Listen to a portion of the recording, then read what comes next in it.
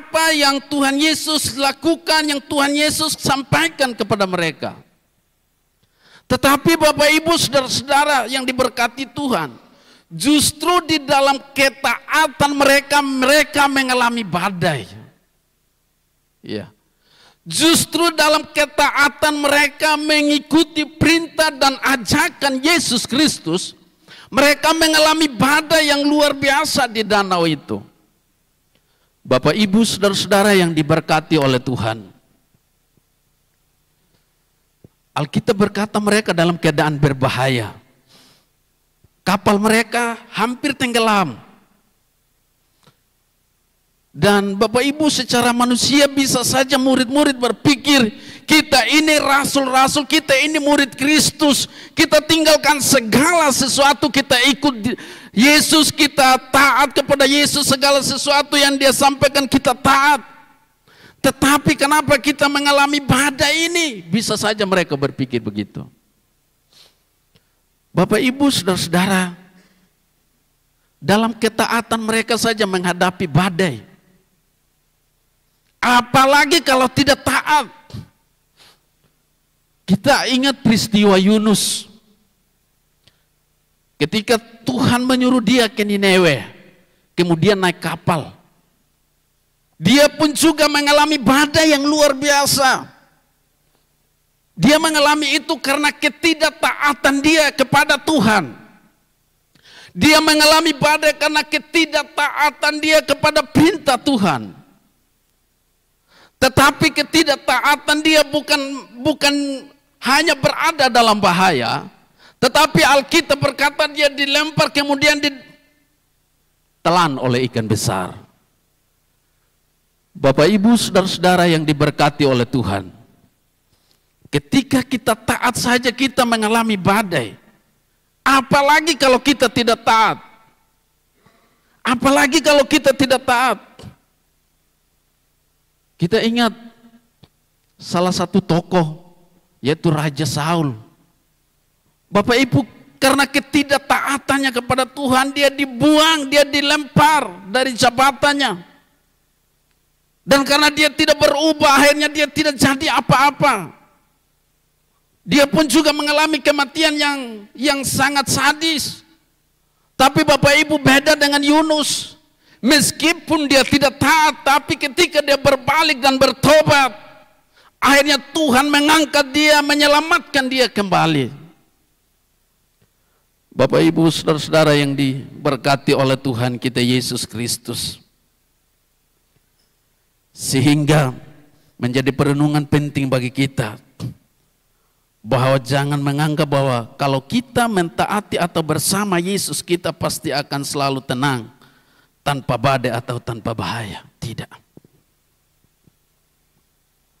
Bersama dengan Yesus bukan berarti kita tidak menemui jalan yang berlikuk-likuk.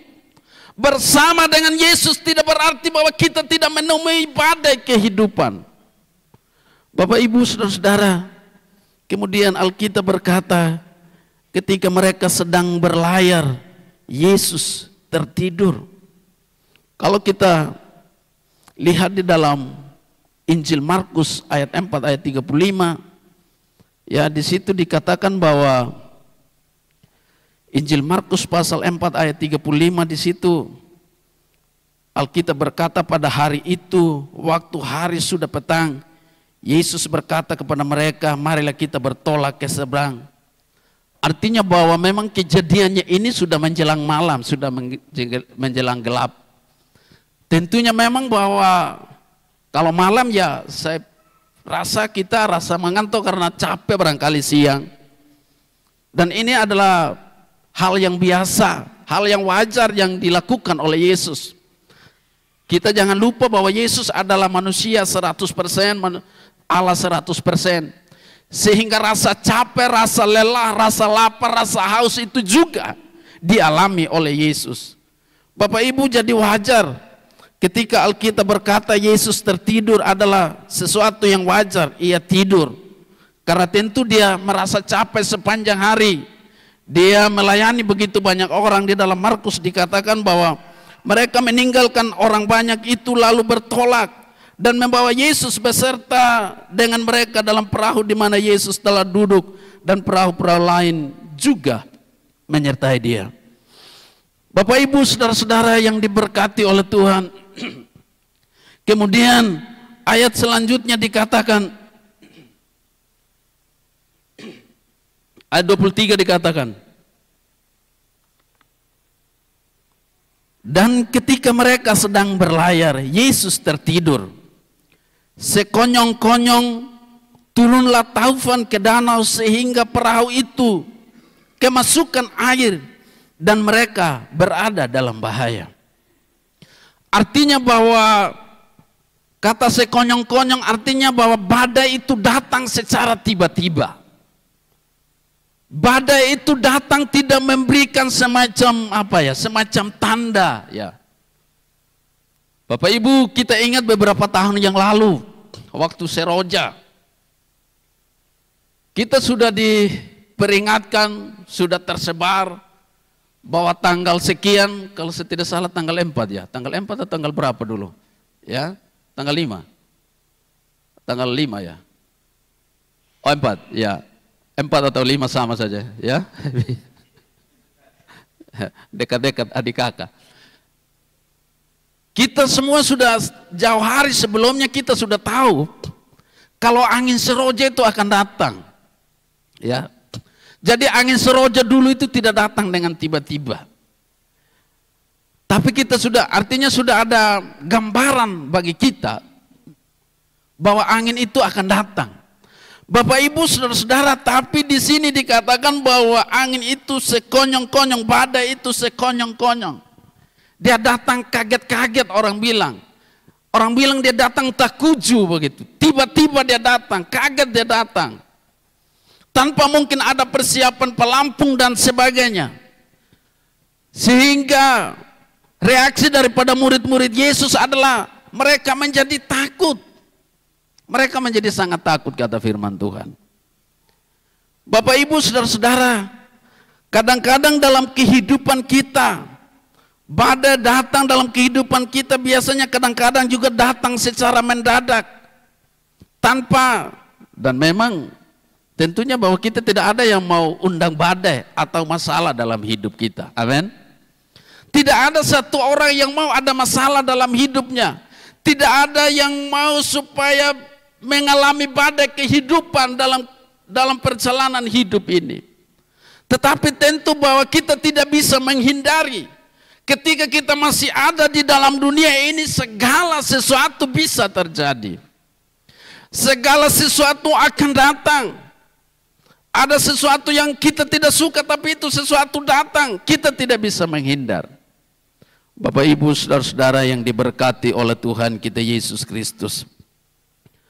Alkitab berkata di dalam ayat yang ke-24, maka datanglah murid-muridnya membangunkan dia. Katanya, guru-guru kita binasa. Ia pun bangun lalu menghardik angin dan air yang mengamuk itu. Dan angin dan air itu pun redah dan danau itu menjadi teduh. Bapak Ibu saudara-saudara yang diberkati oleh Tuhan. Di ayat yang ke-24a dikatakan bahwa murid-murid Yesus mereka menjadi sangat takut. Mereka takut binasa. Bapak Ibu Saudara-saudara yang diberkati oleh Tuhan, itu menunjukkan bahwa murid-murid tidak menunjukkan iman mereka yang kuat. Itulah sebabnya Tuhan izinkan badai terjadi supaya iman mereka menjadi lebih kuat, menjadi lebih hebat. Tuhan izinkan badai bukan untuk supaya mereka binasa, bukan untuk supaya mereka mati tenggelam, tetapi Tuhan izinkan badai terjadi dalam hidup mereka supaya mereka semakin murni, supaya mereka semakin setia mengenal Tuhan dengan baik. Bapak Ibu saudara-saudara yang diberkati oleh Tuhan, Barangkali dari sebagian besar murid ini adalah pengalaman pertama. Dan juga mungkin seperti Rasul Petrus, Yohanes, Andreas, Yakobus. Mungkin juga ini pengalaman pertama mereka mengalami badai itu. Bisa saja mereka berpikir selama mereka bertahun-tahun menjadi nelayan tidak pernah mengalami badai. Tetapi ketika mereka ikut Tuhan kok tiba-tiba mereka mengalami gelombang badai yang luar biasa. Dan Tuhan panggil mereka untuk senantiasa membentuk iman mereka supaya iman mereka menjadi iman-iman yang hebat, iman-iman yang kokoh, iman-iman yang kuat di dalam Tuhan. Bapak Ibu Saudara-saudara, kalau Tuhan izinkan kita hari ini mengalami badai kehidupan, itu bukan berarti bahwa tidak Tuhan tidak sayang kepada kita. Bukan berarti bahwa Tuhan membiarkan kita berada dalam bahaya. Tetapi Tuhan mau supaya kita semakin bertumbuh di dalam Tuhan. Tuhan mau supaya iman kita semakin kokoh, semakin teguh di dalam Tuhan. Bapak Ibu, saudara-saudara yang diberkati oleh Tuhan. Sehingga seperti saya sampaikan kepada kita tadi, apa pun yang terjadi ya di dalam dunia ini, ketika Tuhan masih izinkan kita ada segala sesuatu bisa terjadi. Karena itu kita tidak bisa menghindar dari segala sesuatu yang terjadi dalam hidup ini. Bapak Ibu Saudara-saudara, Alkitab berkata bahwa murid-murid membangunkan Yesus. Ini adalah tindakan atau ucapan yang dilakukan ya tanpa iman. Terlihat jelas dari reaksi mereka terhadap angin itu ya, sikap mereka terhadap angin itu di ayat yang ke-25 dikatakan, lalu katanya kepada mereka, di manakah kepercayaanmu? Ini adalah kata-kata Yesus. Ini adalah ucapan Yesus kepada murid-muridnya. Bahwa memang pada waktu itu murid-muridnya memiliki iman yang masih rapuh, yang masih perlu dibangun, yang masih perlu dibentuk. Sudah sekian lama mereka bersama-sama dengan Yesus tetapi mereka masih membutuhkan bagaimana iman mereka terus dimurnikan oleh Tuhan. Bapak Ibu saudara-saudara yang diberkati oleh Tuhan. Kalau di dalam Markus dikatakan guru engkau tidak peduli kalau kita binasa. Di sini Kristus sepertinya hanya tampaknya saja tidak peduli tetapi sebetulnya bahwa ia siap menolong kita, ia selalu siap memberikan pertolongan kepada kita. Segala sesuatu ditetapkan dan diatur oleh Allah untuk kebaikan kita. Dan karena itu semua badai yang kita alami pasti berguna untuk kita. Yang percaya katakan amin. Segala sesuatu yang terjadi dalam kehidupan kita sebagai orang-orang yang percaya, yang beriman kepada Yesus Kristus pasti ada manfaatnya. Itulah sebabnya Alkitab berkata, bahwa Tuhan izinkan segala sesuatu untuk mendatangkan kebaikan bagi mereka yang percaya dan mengasihi Dia. Bapak Ibu yang diberkati oleh Tuhan kita Yesus Kristus. Kemudian Alkitab selanjutnya berkata, ayat yang ke-25 sekali lagi, lalu katanya kepada mereka, di manakah kepercayaanmu? Maka takutlah mereka dan heran Lalu berkata seorang kepada yang lain, siapa gerangan orang ini sehingga ia memberi perintah kepada angin dan air dan mereka taat kepadanya. Bapak Ibu saudara-saudara yang diberkati oleh Tuhan kita Yesus Kristus. Sekali lagi dalam perjalanan itu Alkitab berkata bahwa Yesus tertidur. Kemudian Alkitab sekali lagi dia katakan bahwa terjadi badai yang luar biasa. Tetapi kalau kita renungkan di sana, kalau kita renungkan secara akal sehat kita, kok bisa badai yang begitu besar Yesus tetap tertidur? Kok bisa badai goncangan yang luar biasa? Kok Yesus tetap tidur? Itu yang menjadi perenungan kita, yang menjadi pertanyaan buat kita. Bapak Ibu Saudara-saudara, waktu badai seroja kemarin beberapa dua tahun yang lalu, adakah kita di sini yang bisa tidur? Saya rasa mungkin kita semua tidak tidur, amin. Atau ada yang tidur ya? Saya punya anak yang kedua, dianggap kayak tidak ada apa-apa di luar. Ya, kami orang tua ini uh, sejujurnya sebagai manusia 100% ya. Sebagai manusia juga ragu-ragu. Saya pikir jangan sampai ini pastor dia robot tendes kita. Saya pikir sepanah ini jangan sampai terjadi apa-apa gitu ya. Saya di depan pastor itu kan ada pohon mangga, ada pohon sukun, ada pohon pisang, meskipun tempatnya sedikit, tapi banyak pohon di situ. Dan di belakang tempat ibadah kami sementara itu ada ada tower satu itu bunyi tower itu sama kayak bunyi helikopter ya. Kemudian itu apa namanya itu pohon-pohon tuak itu bunyinya luar biasa ya. Dan saya hanya bisa duduk di luar sambil saya pegang senter ya. Kurang lebih jam 12 malam itu saya dengar di belakang itu macam ada bunyi gunung yang jatuh. Saya coba ke belakang saya senter ternyata itu bangunan PAUD kami itu rubuh ya. Memang itu bangunan belum kami atap baru sampai orang bilang baru sampai dia punya gewel. Ya. Dan waktu itu sampai dia apa rata lo bawah, saya tidak tahu kenapa sampai begitu ya. Menurut orang tidak mungkin terjadi karena tembok saja, tapi itu bisa terjadi. Dan sejujurnya tidak ada yang bisa tidur pada malam itu. Ya. Jangankan seroja, bunyi musik saja di tetangga itu bisa kita tidak tidur. Ya.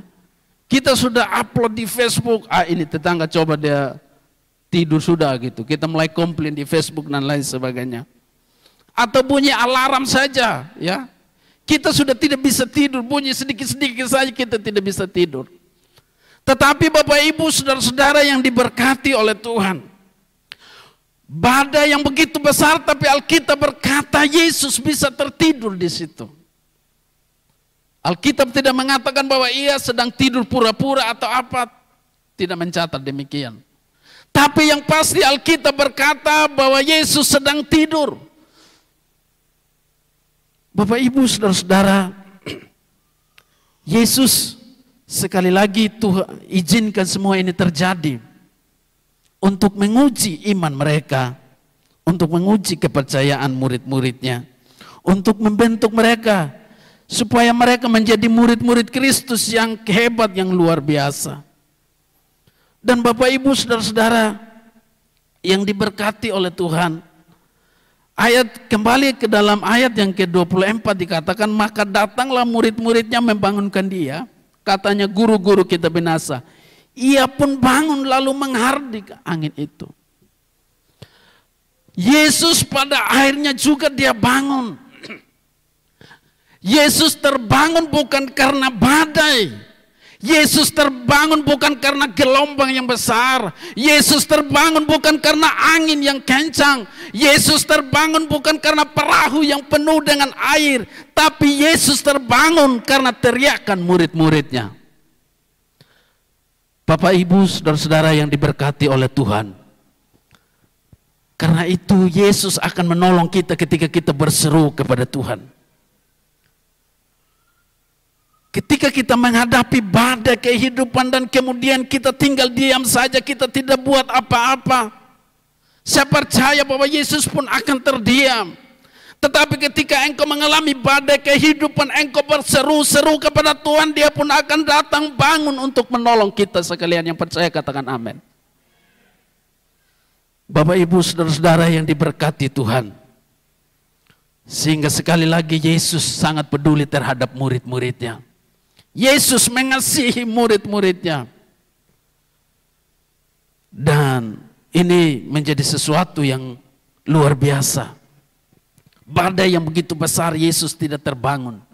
Tetapi dengan teriakan mereka Tuhan bangun dan menolong mereka. Bapak ibu saudara-saudara. Saya percaya kita tidak terlepas, tidak luput dari namanya persoalan dalam dunia ini. Tetapi jika Tuhan izinkan segala sesuatu terjadi, jangan lari ke jalan yang salah.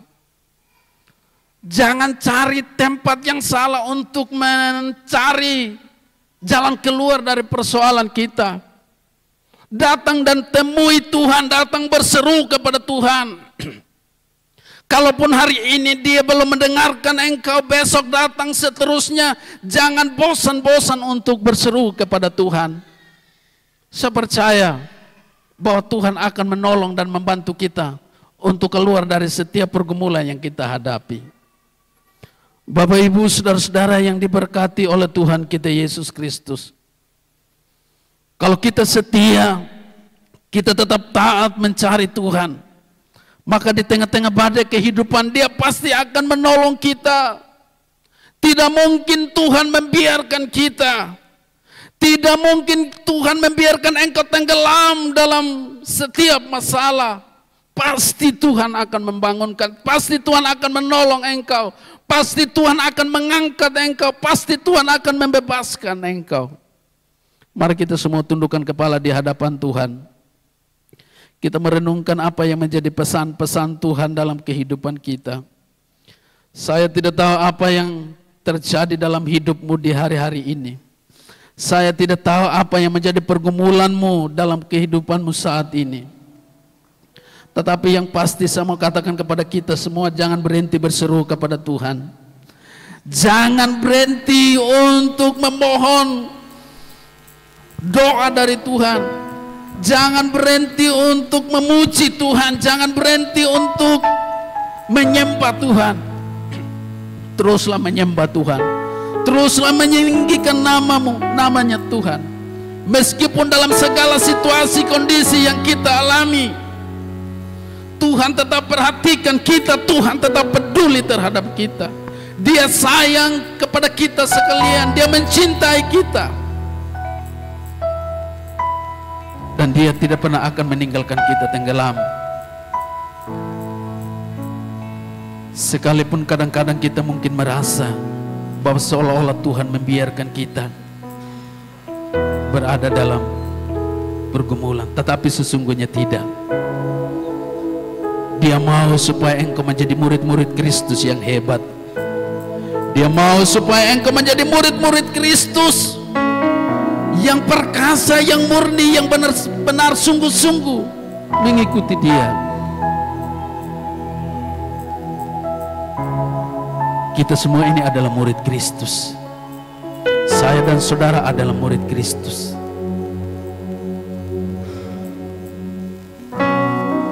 setiap saat, setiap hari. Kita tidak pernah luput dari setiap masalah persoalan dalam hidup ini. Kita tidak pernah luput dari badai kehidupan yang menggoncang hidup ini. Tetapi percayalah ketika engkau berseru kepada Tuhan. Alkitab berkata dia pun terbangun untuk membantu dia akan menolong kita.